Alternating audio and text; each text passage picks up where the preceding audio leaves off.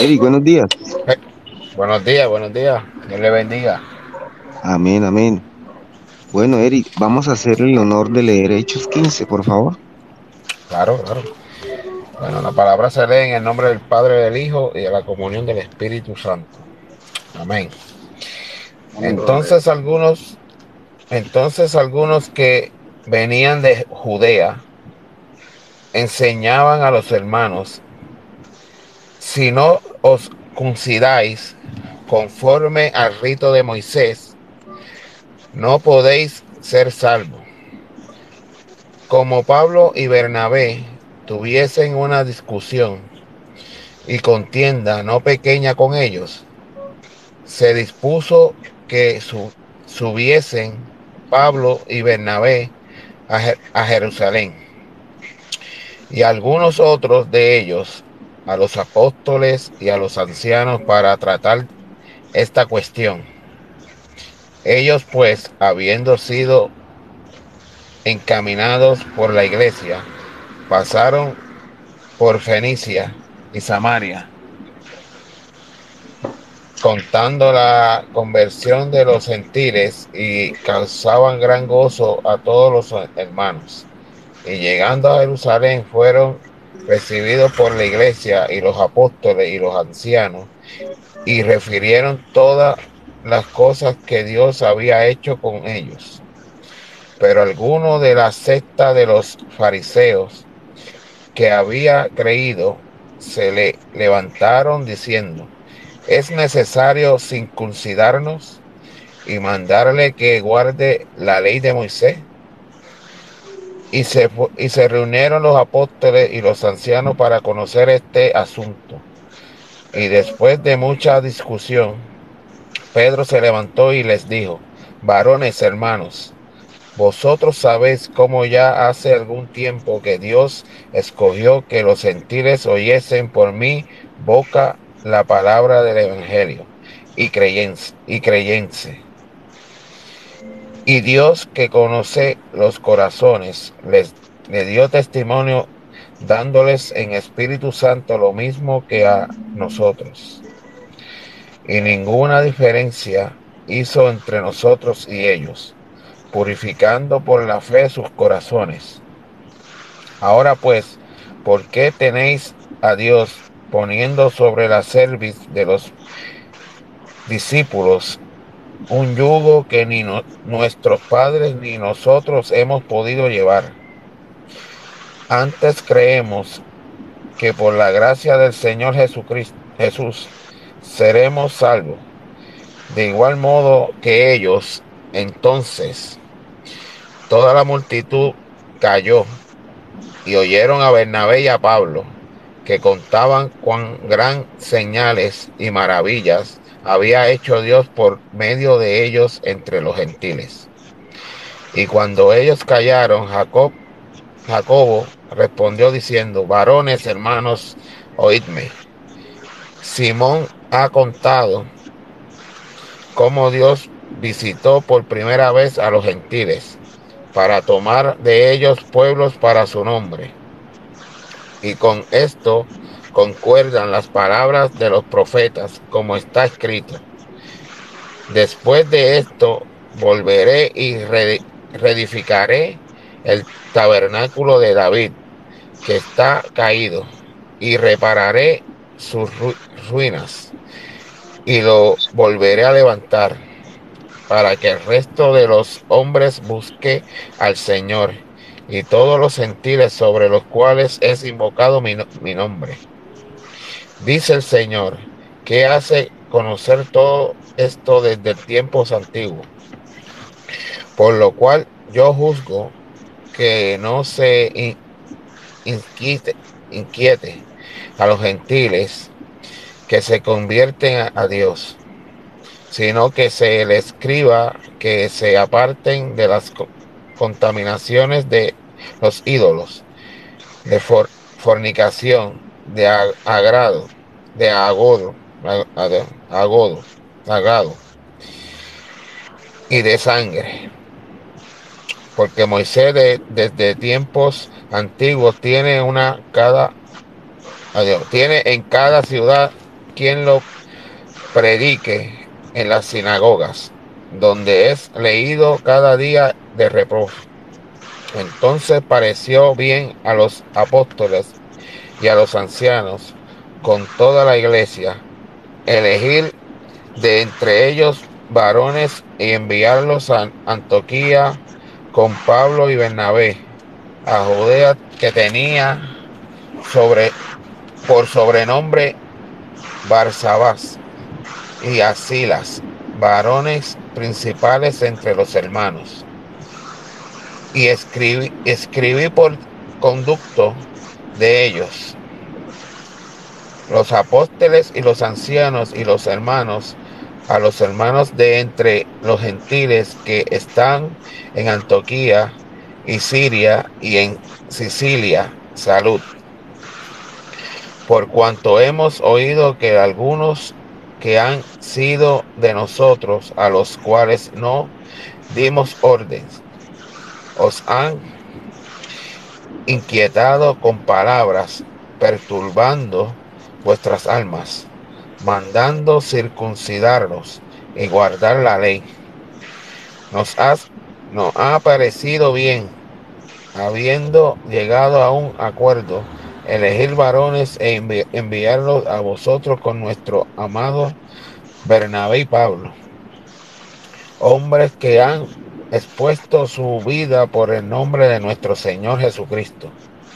Así que enviamos a Judas y a Silia, los cuales también de palabra os harán saber lo mismo, porque ha parecido bien al Espíritu Santo y a nosotros no imponernos ninguna carga más que estas cosas necesarias, que os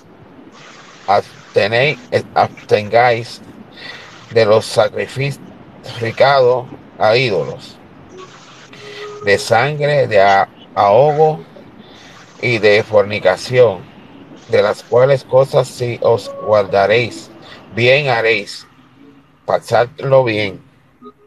Así pues, los que fueron enviados descendieron a Antioquía y reuniendo a la congregación entre, entregaron la carta. Habiendo leído la cual, se regocijaron por la consolación.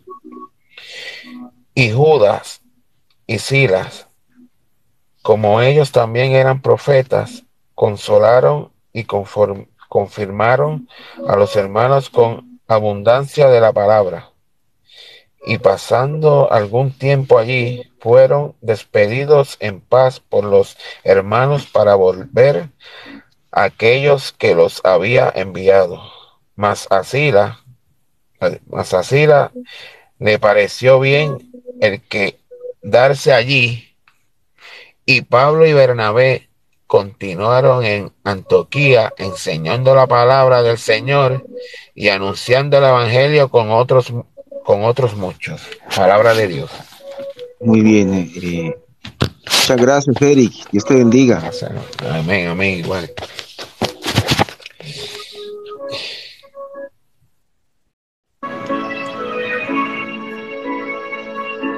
Parece que Hernán se nos fue. Vamos a hacer el análisis de Hechos 15 rápidamente.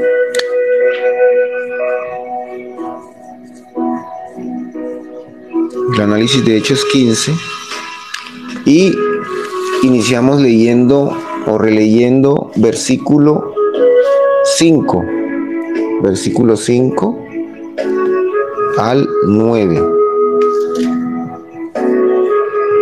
¿Qué dice el versículo 5 al 9 del Leo? Pero algunos de la secta de los fariseos, que habiendo creído, se levantaron diciendo, es necesario circuncidarlos y mandarles que guarden la ley de Moisés. Esto le decían los fariseos, o esta secta, le decían y le exigían a los gentiles que fueran circuncidados, ¿sí? se habla de la circuncisión y se reunieron los apóstoles y los ancianos para conocer este asunto. Después de mucha discusión, Pedro se levantó y dijo, varones hermanos, vosotros sabéis, como ya hace algún tiempo que Dios escogió que los gentiles oyesen por mi boca la palabra del Evangelio y creyesen. Y Dios que conoce los corazones les dio testimonio, dándole el Espíritu Santo lo mismo que a nosotros. Pues no hay ninguna diferencia. Ninguna diferencia hizo entre nosotros y ellos, purificando por la fe sus corazones. No hay ninguna diferencia. El Señor no hace, no hace acepción de personas. ¿Por qué los fariseos, los de esta secta, decían que los gentiles se debían circuncidar? Recuerden que los gentiles representan a aquellas personas que están que están por fuera de la herencia o el linaje judío, ¿cierto? Gentiles es contrario a judíos en esa época. Si se vivía este recelo por, del pueblo judío hacia los gentiles y, viceversa también, porque los judíos no compartían con los gentiles.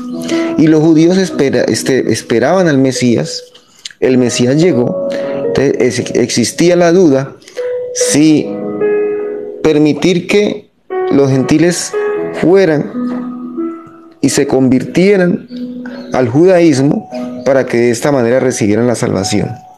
Pero como ya vimos en capítulos anteriores, el Espíritu Santo de Dios fue derramado sobre gentiles, sobre judíos y sobre muchas personas.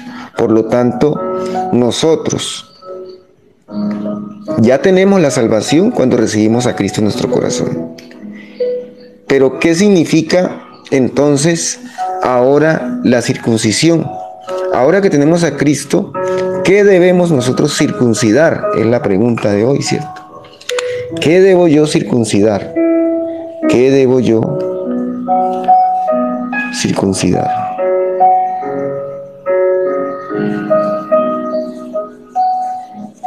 ¿Qué debo yo circuncidar? Es la pregunta que ahora como cristianos, no como judíos, como cristianos nos hacemos.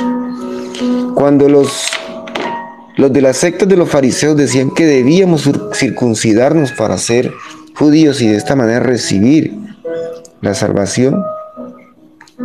Ellos no entendían que recibir a Cristo y recibir la salvación es por gracia, es por gracia.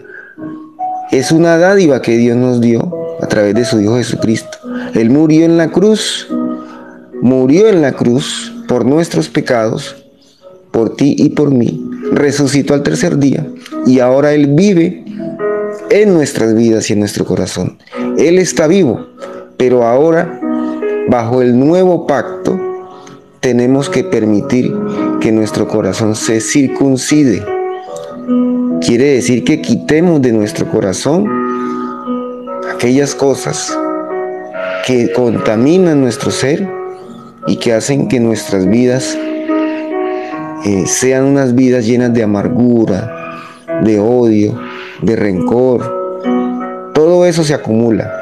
Todas esas cosas que nos pasan, todo lo que lo que afecta mi vida, lo que afectó mi vida en un pasado. Si usted tuvo un conflicto, si usted tuvo en pecado, estuvo en pecado constante, eso, eso endurece el corazón. Entonces, por eso quiero que hablemos ahora de lo que es tener un corazón. Un corazón duro, un corazón con falta de circuncisión, que no está abierto y no permite que el Señor Jesús viva allí, que no permite que nuestro ser se moldee a la voluntad de nuestro Creador.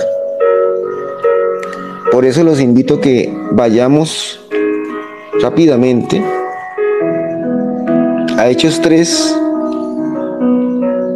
del 7 al 9, para ver punto a punto qué es tener un corazón duro y aprender a identificarlo. Hebreos 3, 7 y 9. Hebreos 3, 7 al 9. Hace falta Hernán aquí para... para que me apoye en la búsqueda de la palabra de Dios. Hebreos 3 del 7 al 9, lo voy a colocar acá. Hebreos 3 del 7 al 9. Y vamos a leer todas esas Biblias, tenganla allí disponible. Leamos juntos. Dice, por lo cual, como dice el Espíritu Santo, es Hebreos, como dice el Espíritu Santo, si oyeres hoy su voz, no, no endurezcáis vuestros corazones como en la provocación en el día de la tentación en el desierto, donde me tentaron vuestros padres, me probaron y vieron mis obras cuarenta años.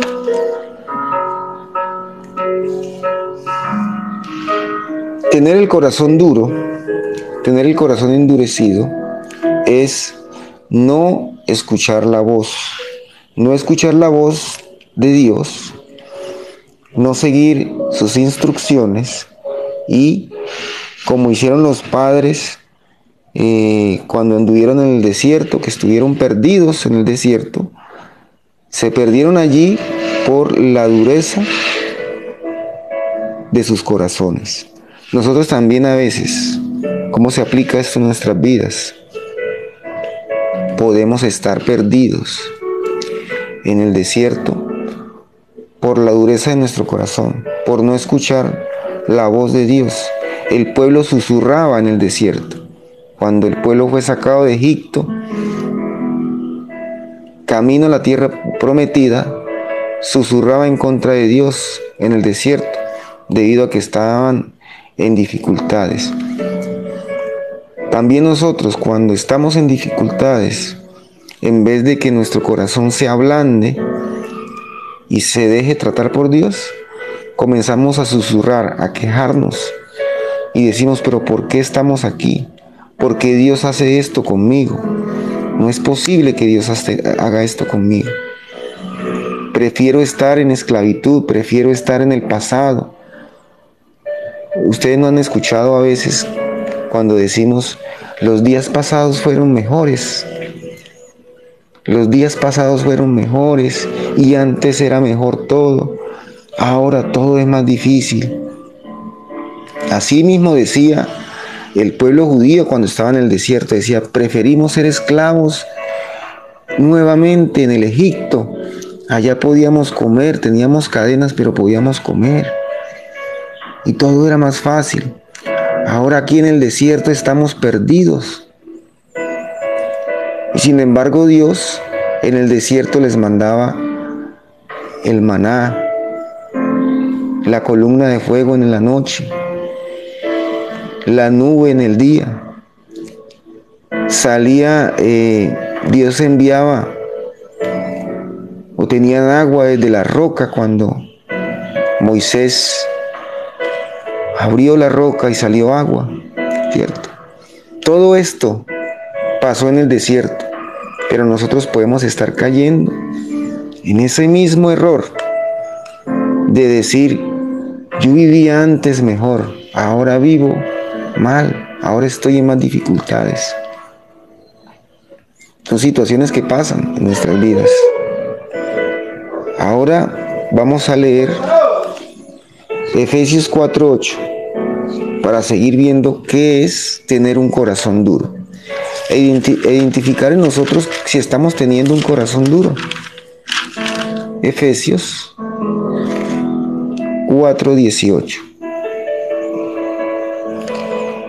Dice en Efesios 4:18, teniendo el entendimiento entenebrecido, ajeno de la vida de Dios por la ignorancia que en ellos hay, por la dureza de su corazón teniendo el entendimiento, entenebrecido, ajenos a la vida de Dios por ignorancia que hay en ellos. ¿Cómo podemos tener un corazón duro? Por la ignorancia. Cuando no entendemos o cuando no queremos entender las cosas de Dios. allí comienza a generarse una costra en mi corazón. Comienzo a tener un corazón duro. Yo te necesito entender las cosas de Dios. Cuando yo vivo ajeno a, a, la vida de Dios, quiere decir cuando yo le doy la espalda a Dios y vivo mi vida según mis propios deseos. Vivo mi vida según mis propios, mis propias decisiones y no tengo en cuenta la palabra de Dios, no tengo en cuenta el consejo. Eso es tener un corazón duro, ajenos a la vida e ignorantes de las cosas de Dios. Es allí donde yo puedo estar cometiendo ese error y comenzando a tener un corazón lleno de dureza, lleno de dureza. Esto fue entonces Efesios, para que lo anoten ustedes, Efesios 4, 18. Efesios 4, 18. ¿Sí? ¿Qué dicen por ahí? ¿Qué preguntas tienen? Tenemos que aprender a ser audibles a su voz. Así es. Tenemos que aprender a escuchar la voz de Dios. Yo les voy a dar un testimonio y sé que, que a muchos de ustedes les pasó. Cuando yo comencé a estudiar la palabra de Dios, fue muy difícil para mí porque uno de primeras no entiende lo que lee. ¿sí? Uno de primeras cuando comienza en la vida cristiana, comienza a leer y a escudriñar la palabra de Dios, uno no entiende lo que está escrito allí. Es difícil. Hay que superar ese momento, si usted lo está teniendo. Y hay que insistir para que uno comience a entender. Pero uno no entiende la palabra de Dios porque uno, no, uno tiene un corazón duro. O sea, es como si nuestros ojos estuvieran cegados a la verdad. Pero cuando uno insiste en esto, el corazón comienza a abrírsele. Comenzamos a quitar la falta de entendimiento y comenzamos a abrir los ojos. Eso pasa en nuestras vidas. Cuando andamos alejados de Dios, como dice aquí en la palabra, ajenos a la vida de Dios. Cuando estamos ajenos a la vida de Dios, las cosas de Dios no la entendemos. Por eso hay que continuar y perseverar en esto. Dice Agu Heredia, yo quiero que se abra mi corazón. Yo tengo un corazón duro y no quiero tenerlo. Así es. Estás en el camino correcto. Lo primero que hay que hacer es disponerse, identificar de que yo tengo un corazón duro. Y vamos a ver al final cómo hago para eliminar de mi vida un corazón duro. Sigamos estudiando la palabra de Dios, sigamos viendo qué es tener un corazón duro y mirando y evaluando nuestras propias vidas. Vimos aquí en Hebreos y en, Efesios que la falta de entendimiento me lleva a mí a tener un corazón duro. Cuando yo no entiendo lo que Dios quiere, quiere para mí. Cuando yo no tengo una vida, cuando yo tengo una vida sin propósito, yo digo, pero ¿por qué existo? ¿Por qué estoy aquí? Pero cuando yo estoy seguro de quién soy, cuando usted y yo estamos seguros de que somos hijos de Dios, hechura suya, creación maravillosa, cuando mi embrión vieron tus ojos, ¿cierto? Cuando desde el vientre de mi madre tú estabas allí formándome, cada, cada tejido, cada célula fue formada por ti. Cuando yo entiendo que yo soy hijo de Dios, comienzo a abrir el corazón, ablandar mi corazón. Porque yo necesito entender que yo tengo un Dios que me ama, que yo tengo un Dios que me sustenta Necesito entenderlo, o sea, es una necesidad que, tiene, que tenemos nosotros de entender que Dios es mi Dios, es mi seguridad. No debemos poner la seguridad en cosas del mundo. La seguridad es mi Padre Celestial. Amados, busquemos en Hebreos 4, 5, 7 para seguir viendo esto. Efesios 4, 22, 23 dice Giovanni, para comenzar a transformar ese corazón. Allí tenemos una cita bíblica. Excelente. Así es, están en el camino correcto. Cuando uno se dispone es el primer paso para comenzar a quitar cáscaras que se forman en el corazón. ¿Listo? Busquemos Hebreos.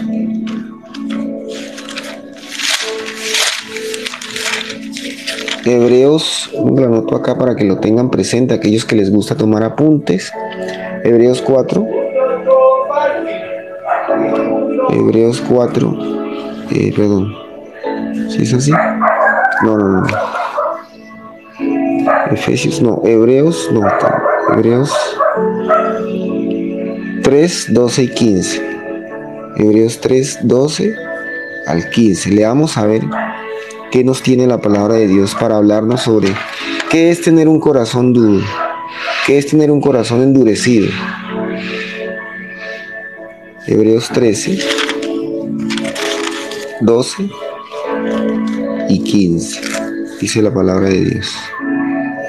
Por lo cual también Jesús, para santificar al pueblo mediante su propia sangre, padeció fuera de la puerta. Salgamos pues ante Santiago. 12. Qué pena que me disculpan allí.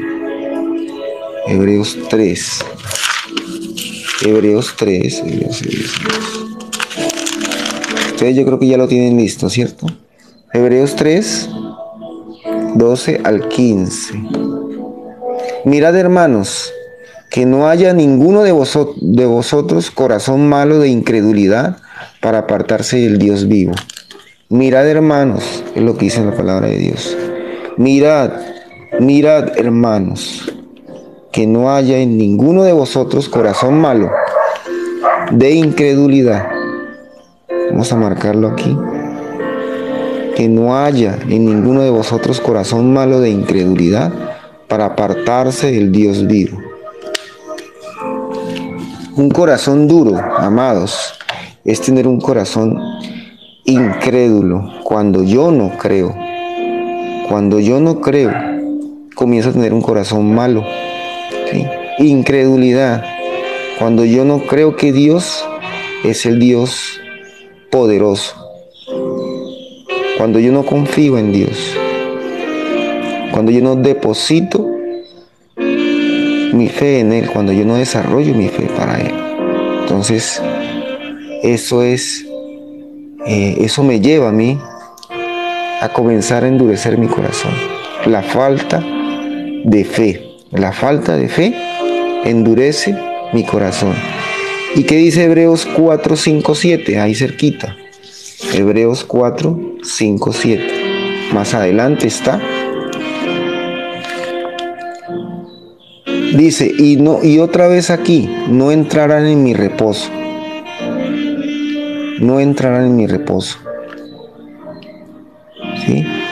Por lo tanto, puesto que falta que algunos entre él y aquellos a quienes primero se les anunció la buena nueva, no entraron por causa de desobediencia. Otra vez determina un día, hoy diciendo después de tanto tiempo, por medio de David, como se dijo, si oyereis su voz, no endurezcáis vuestros corazones. Si oyereis su voz, no endurezcáis vuestros corazones. Pero en el versículo 5 dice, y otra vez aquí, no entrarán en mi reposo. No entrarán en mi reposo. Cuando yo tengo un corazón duro, no descanso no tengo descanso en Dios. Les hablamos de que no creemos, o sea, falta de fe, y también falta de descanso. Los afanes de la vida, los afanes de la vida, la semilla entre las espinas, acuérdense. Cuando yo me ahogo, en la desesperación, en las preocupaciones. Me vuelvo un activista. Ando aquí ando allá, buscando muchas cosas a la vez. Cuando yo ando en los afanes de la vida y no reposo y no descanso en Dios, mi corazón comienza a endurecerse allí. Se endurece. ¿Qué más? Vamos a Juan 12:40 para seguir y terminar por el día de hoy esta enseñanza. Y les voy a dar al final un mensaje de solución para quitar nuestros corazones, quitar de nuestros corazones eso que no nos permite eh, acercarnos a Dios. Busquemos Juan 12:40. Teo, Lucas, Marcos. Juan. Juan 12.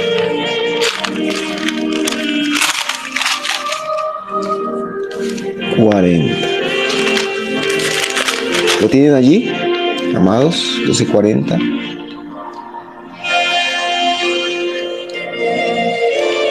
Dice así, cegó los ojos de ellos y endureció su corazón para que no vean con sus ojos ni entiendan con el corazón y se conviertan y yo los sano. A veces Dios permite, pues Él debe permitir porque el corazón que se endurece, un corazón endurecido es a causa de la misma persona, pero a veces Dios permite que haya dureza en los corazones. Porque por medio de eso Él quiere mostrar las consecuencias de la desobediencia, de estar alejados de Dios. Amados, tal vez usted está pidiendo por algo, ¿cierto? Como sucedió con el faraón. El faraón no quiso, no quería, y a esto se refiere este versículo bíblico.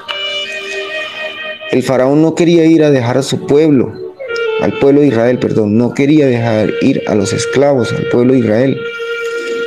Y Moisés llegaba a él y decía, te voy a, el Señor dice que enviará esta plaga, ¿cierto?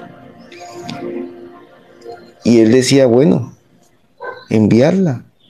No, no le importaba. Enviaba la plaga o enviaba esa dificultad al, al pueblo de Egipto.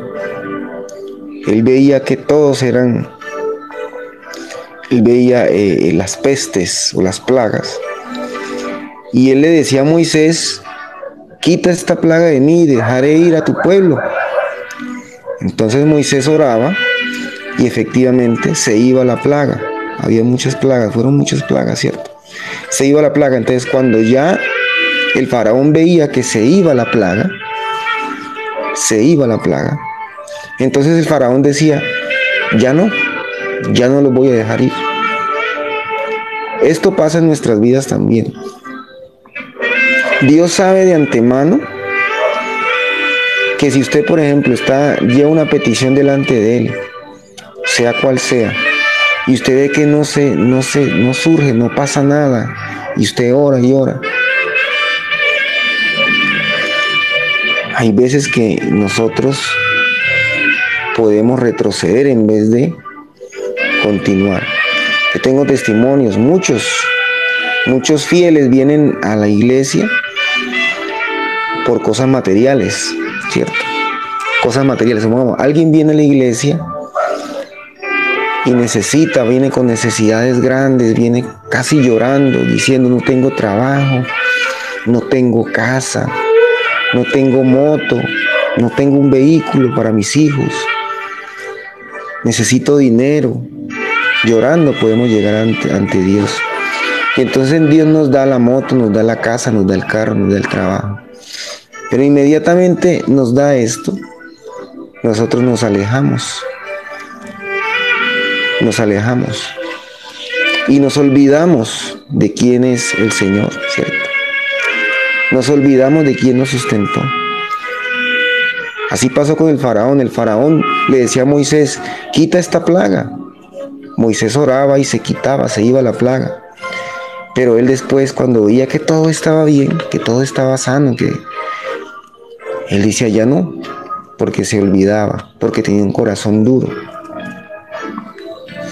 Tal vez usted estemos orando por alguna cosa en nuestras vidas. Pero falta todavía que nuestro corazón, que haya un proceso en nuestro corazón para quitar esa cáscara, quitar ese muro, esa barrera. Porque si de pronto suceden cosas en nuestras vidas que parecen ser bendiciones, todo lo contrario sea maldición. Entonces aquí debemos entender eso. Que hay veces que las cosas no se dan en nuestras vidas porque tenemos un corazón duro y tal vez cuando esto se cumpla, nuestras peticiones, nos alejamos de Dios, nos alejamos de Dios. Bueno, terminamos por hoy, amados. Dios los bendiga. Les voy a dar un versículo final para que lo tengan en cuenta. Ezequiel 36, 26. Búsquenlo, por favor. Ezequiel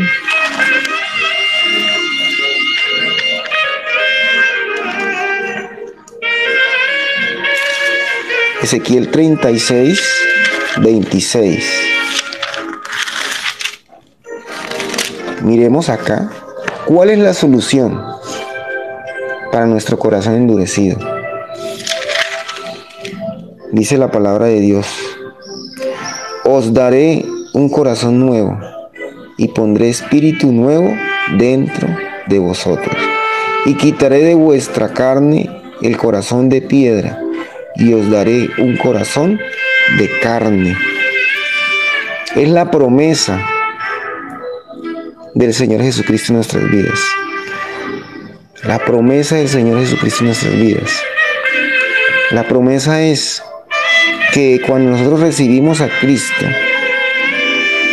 comienza a haber un nuevo corazón y un nuevo espíritu. Esos son dos regalos maravillosos. Un nuevo corazón y un nuevo espíritu. Un nuevo espíritu, el Espíritu Santo de Dios que se derrama sobre nosotros cuando aceptamos de corazón y nos convertimos a Cristo. Y comienza un proceso. Es un proceso lento, pero seguro. Donde poco a poco se va quitando la cáscara de nuestro corazón y convertimos un corazón de piedra en un corazón de carne, en un corazón moldeable. Pero es necesario entonces que nosotros nos arrepintamos y aceptemos a Cristo como nuestro Señor y Salvador. Y Él nos dará un corazón de carne. ¿Sí? Entonces, ¿cómo hacemos esto? Si usted es nuevo, si usted ya ha recibido a Cristo en su corazón, hagamos esta oración para confirmar nuestra fe todos los días. Confirmar nuestra fe. Repita conmigo, Señor Jesucristo, yo te necesito, Señor. Reconozco que moriste por mis pecados y te pido que entres en mi corazón y hagas de mí esa persona con un corazón de carne. Esa persona que tú quieres que yo sea. Amén.